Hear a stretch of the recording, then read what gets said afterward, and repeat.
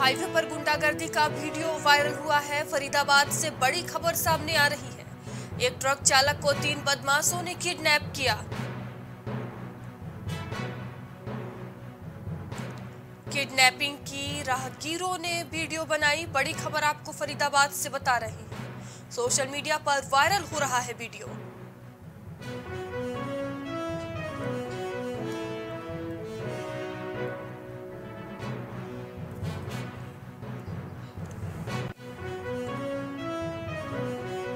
Highway पर गुंडागर्दी का वीडियो वायरल हुआ है।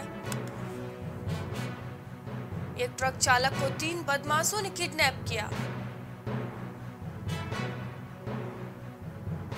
किडनैपिंग की राहगीरों ने वीडियो बनाई है, बड़ी खबर आपको बता रहे हैं। सोशल मीडिया पर वायरल हो रहा है वीडियो।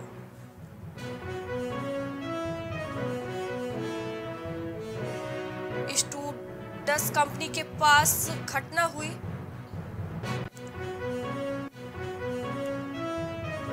इरफान सोलंकी की संपत्तियाँ आज जब्त होंगी। बड़ी खबर आपको कानपुर से बता रहे हैं। सोलंकी की 25 करोड़ की संपत्ति आज जब्त होगी। इरफान और पत्नी के नाम है तीन प्लॉट। कानपुर के स्वर्ण जयंती बिहार में तीन प्लॉट है। बड़ी खबर आपको बता रहे हैं।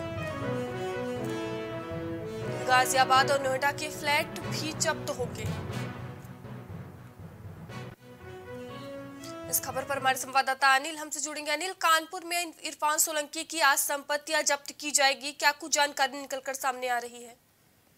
जी मयूरी मैं बिल्कुल बता दूँ आपको कि कानपुर में इरफान सोलंकी की सूत्रों के माध्यम से खबर आ रही है कि आज संपत्ति कुर्क की जा सकती है। मैं बता दूँ कि लगभग डेढ़ सौ से दो सौ करोड़ की संपत्ति जो कि गैंगस्टर के मामले में इनकी एक्वायर की गई है, जो कि कानपुर से लेकर मुंबई तक इनकी कई संपत्तियाँ हैं। जिसके चलते आज पहली कड़ी में कानपुर की जो स्वर्ण जयंती बिहार में इनके तीन प्लॉट है।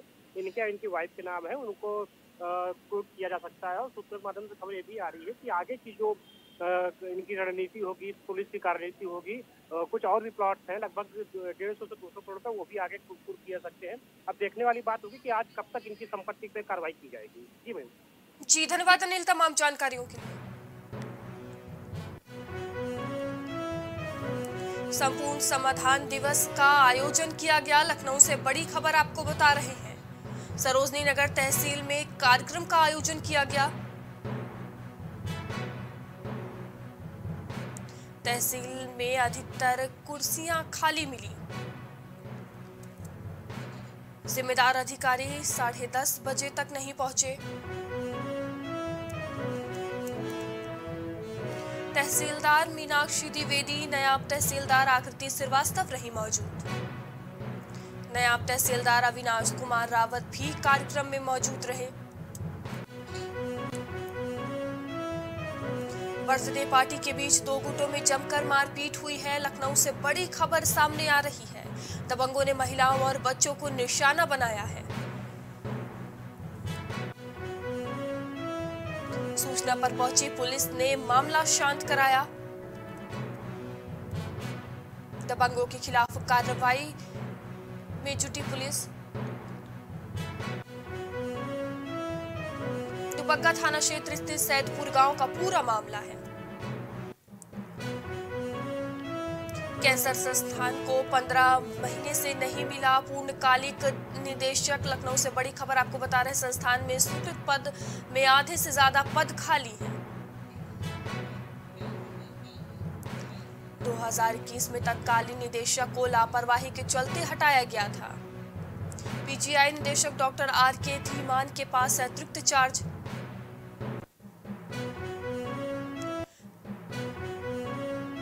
इकतीस स्कूलों की मान्यता रद्द करने के लिए डीआईओएस ने नोटिस दी है। लखनऊ से बड़ी खबर सामने आ रही। बोर्ड परीक्षा की ड्यूटी में लगे कक्ष निरीक्षकों के न पहुँचने पर कार्रवाई की गई। स्कूलों में 10 फ़ीसदी कक्ष निरीक्षकों के न पहुँचने से परेशानी हुई। इकतीस स्कूलों की मान्यता रद्द करने के लिए डीआईओएस ने नोटिस दी है। लखनऊ से बड़ी खबर आपको बता रहे हैं। बोर्ड परीक्षाओं की ड्यूटी में लगे कक्ष निरीक्षकों के न पहुँचने पर कार्रवाई की गई। स्कूलों में 10 फ़ीसदी कक्ष निरीक्षकों के न पहुँचने से परेशानी हुई। इस खबर पर हमारे संवाददाता विवांशु से जुड़ेंगे। विवांशु, इकतीस स्कूलों की मान्यता रद्द करने के लिए डीआईओएस ने नोटिस जारी की है। क्या कुछ पूरा मामला है? जी, आपको बता दें कि यूपी बोर्ड परीक्षा में ड्यूटी में लगे कक्ष निरीक्षकों को न भेजने वाले स्कूलों के खिलाफ कहीं ना कहीं, जो महकमा है, शिक्षा महकमा है, वो पूरी तरह से कड़ा अपना रुख अपना रहा है। आपको बताएँ कि डीआईओएस को कल एक नोटिस भेजी गई, जिसमें इकतीस स्कूलों की काली सूची सूची बनाई गई, यानी कि ब्लैक लिस्ट बनाई गई, जिसमें नोटिस के द्वारा चेतावनी दी गई कि अगर इन स्कूल के प्रबंधक सख्त निर्देश दिए गए कि अगर स्कूल में, जिन स्कूलों में ड्यूटी लगाएगी और वहाँ परीक्षा, परीक्षाओं में वो सम्मिलित नहीं होंगे तो उन्हें कहीं ना कहीं कार्रवाई देखने को मिलेगा। इसको लेकर आपको बताएँ कि इकतीस स्कूलों के खिलाफ नोटिस जारी कर दिया गया है। और 10 फ़ीसदी कक्ष निरीक्षक निरीक्षक अभी तक स्कूलों में पहुँच नहीं पाए हैं जो परीक्षा में ड्यूटी है।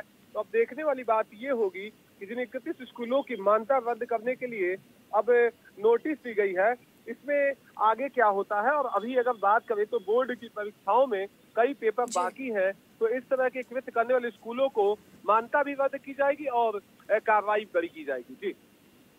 जी धन्यवाद तमाम जानकारियों कचरा प्रबंधन की ज़िम्मेदारी इको ग्रीन कंपनी की विदाई तय, लखनऊ से बड़ी खबर सामने आ रही। नगर निगम ने कंपनी को हटाने की दिशा में काम शुरू किया। कूड़ा प्रबंधन में लापरवाही पर पीसीबी ने जुर्माना लगाया। पीसीबी ने नगर निगम पर दो दशमलव चार शून्य करोड़ का जुर्माना लगाया है।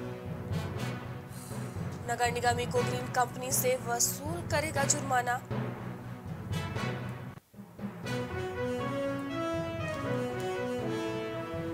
कचरा प्रबंधन की ज़िम्मेदारी इको ग्रीन कंपनी की विदाई। तय, बड़ी खबर आपको बता रहे लखनऊ से नगर निगम ने कंपनी को हटाने की दिशा में काम शुरू किया है। कूड़ा प्रबंधन में लापरवाही पर पीसीबी ने जुर्माना लगाया है। विधानसभा की कार्रवाई में व्यवधान। बड़ी खबर लखनऊ से सामने आ रही है। राज्यपाल के अभिभाषण के दौरान हंगामा हुआ। अभिभाषण के दौरान विपक्ष की नारेबाजी। आरएलडी और सपा विधायकों ने जमकर हंगामा किया। बड़ी खबर आपको बता रहे। राज्यपाल वापस जाओ के नारे लगाए गए। विपक्षी विधायकों ने वेल में आकर हंगामा किया। यूपी विधानसभा की कार्रवाई में व्यवधान देखने को मिला। लखनऊ से आपको खबर बता रहे हैं, जहाँ राज्यपाल के अभिभाषण के दौरान हंगामा हुआ। अभिभाषण के दौरान विपक्ष की नारेबाजी लगातार जारी रही। आरएलडी और सपा विधायकों ने जमकर हंगामा काटा। मनरेगा मजदूरों को मार्च में भरपूर काम मिलेगा, लखनऊ से बड़ी खबर आपको बता रहे हैं। ग्रामीण विकास मंत्रालय ने प्रदेश में निर्देश जारी किए। मनरेगा के तहत दो दशमलव दो दो करोड़ मानव दिवस स्वीकृति किए गए। काम की अधिक मांग वाले पाँच जिलों को मनरेगा में शुरू की जाँच। मनरेगा मजदूरों को मार्च में भरपूर काम मिलेगा, लखनऊ से आपको खबर बता रहे हैं। ग्रामीण विकास मंत्रालय ने प्रदेश में निर्देश जारी किए।